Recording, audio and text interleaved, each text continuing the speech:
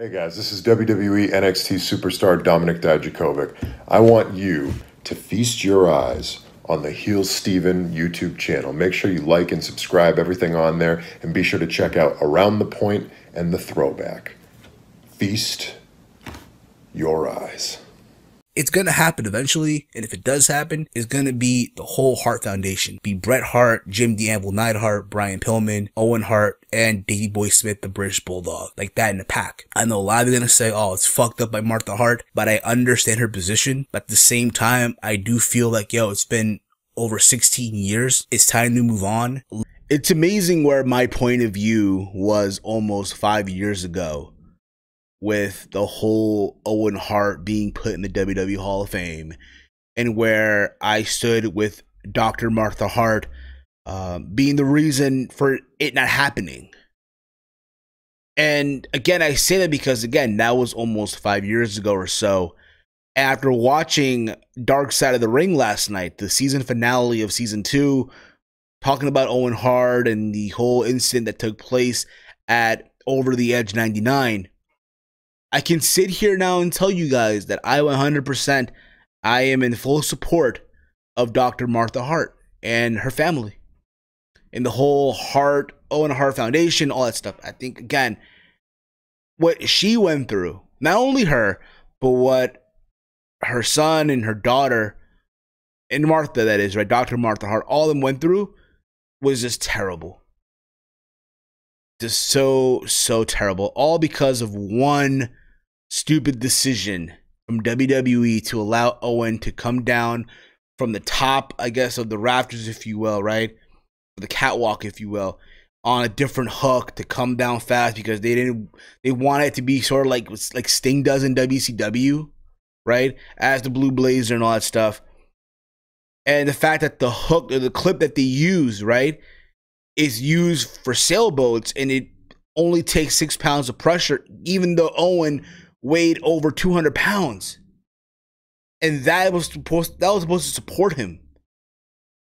It, it was again so stupid. It should have never happened. I thought overall the the whole documentary, I enjoyed it. I did. At the same time, I will not deny that I cried. I cried during the whole documentary. And I know for a fact that I'm not the only one. I know for a fact that a lot of people on social media, on Twitter, were also not at a dry eye as well. People were saying, oh, this is tough to sit through. This is an emotional roller coaster, which it was. It was definitely an emotional roller coaster. At the same time, let's be real about it. This was, if we think about season two, right? Think about season two. The two anticipated episodes were Chris Benoit and Owen Hart. Everything in between was fine, but the Owen one and the Chris Benoit were the two that you wanted to see. Like you knew she was gonna get real when they're 20 minutes into the documentary and boom, they talk about Owen's death. That's when you know shit is real. They had Jim Ross be interviewed in this because Jim Ross was doing commentary uh, that night over the Edge 99. They had The Godfather, who was Owen's opponent. They interviewed Jimmy Korderas, who was the referee for that match. And they talked about how they went over the plans for the match as well. Um, they interviewed Oje, they interviewed Athena, the kids of Owen and Dr. Martha Hart as well. Uh, it would have been cool if they would have gotten Bret Hart, but I can understand why they, they couldn't get him. interviewed Jim Cornette, and Jim Cornette, you can just tell, was so emotional talking about this because he loved Owen Hart. He managed Owen Hart. And then you hear Jim Ross say, oh, you know, you know, he finds out that Owen's dead through Kevin Dunn, and Kevin Dunn says, oh, he's dead. Oh, by the way, we're going back live in 10, nine, eight. Like he had no time, that being Jim Ross, to process what's going on. Oh, you just put him on the spot. No, bruh. And for that, that the idea that Kevin Dunn still has a paycheck or still gets a paycheck from WWE is disgusting. It's sad. It is fucking sad. They talked about also taking that being Dr. Martha Hart taking WWE to court, trying to get the lawsuit, try to get everything done right? How she wanted this case to go to trial, right? She wanted justice for Owen Hart. How Vince wanted to take all this to Connecticut so he wouldn't have to deal with punitive damages. And eventually they settled for money. And how, again, the Hart family themselves how some of them were in support of Dr. Martha Hart, some of them really weren't because again, they had this connection to WWE and what WWE's done for the Hart family. And then there were some members of the Hart family who took any evidence that Martha had and try to hide it from her, take it away from her and stuff like that.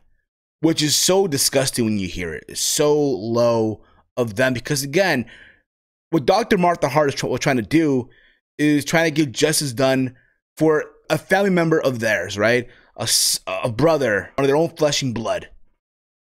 And for them to do that is kind of just no. It's sad. It really, really is sad. Hope that Owen would go in the WWE Hall of Fame. It's not happening.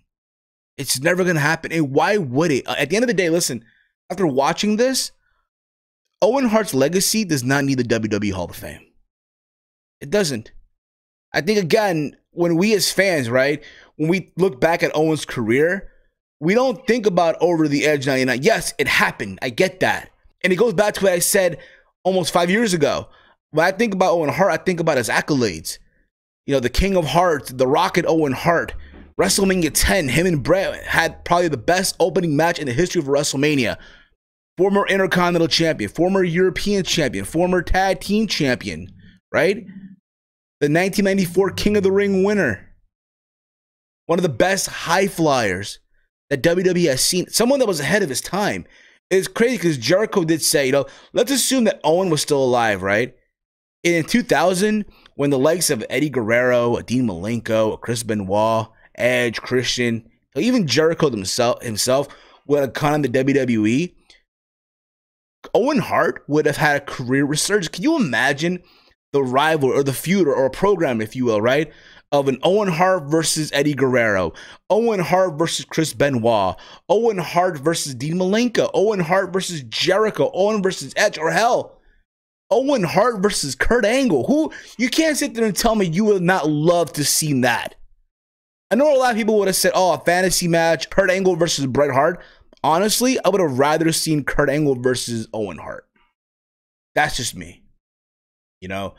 But again, they also show how Martha Hart and she took her kids right back to the uh the to the arena in, in Kansas City where it all went down when Owen again fell and all that stuff. She basically retraced the footsteps, basically what Owen had to go through that night. And they saw just how like how much of a height it was and how all that stuff went down. Hell, there's police photos and there's blood in the ring blood in the ring and wrestlers are still going at it. It's still wrestling. And again, I will still say they should have ended that show right there and there. But instead, they kept it going. They kept it happening. And that to me was still no, even all these years later and shit. Over the Edge 99 is a show that no one goes back and watches. I'm not even sure if it's on the network. I'm pretty sure it is, but if it's if it is, I'm not watching it. That's just that at the end of the day. But overall, though, again, I am all in support of what Dr. Martha Hart and her kids are doing with the whole Owen Hart Foundation. They also show how Owen Hart, you know, at the end of the day, was the good humanitarian. Yes, he comes from a wrestling family, right? That's royalty, but his passion for the business wasn't really as strong as, let's say, someone like Bret's. He just wanted to make money for his family, for his family, so his family could have a good living, right? for him, wrestling was just uh, whatever. Granted, he was good at it, but he was never really focused in wrestling and just gone too soon. Really, really gone too soon. Someone that we could even say could have been WWE champion. And it's a shame that never happened. But I will say again, guys, give it a watch if you can. Again, it's an emotional roller coaster. And again, I did enjoy season two of Dark Side of the Ring. I look forward to season three and all that stuff. But again, guys, give me your thoughts in the comment threads below. Your thoughts on all this regarding Dark Side of the Ring with Owen Hart. Where do you stand with all this now? All that stuff. Let me know, or now let me know on Twitter at Heel Steven. And that being said, guys, I'll see you guys next video.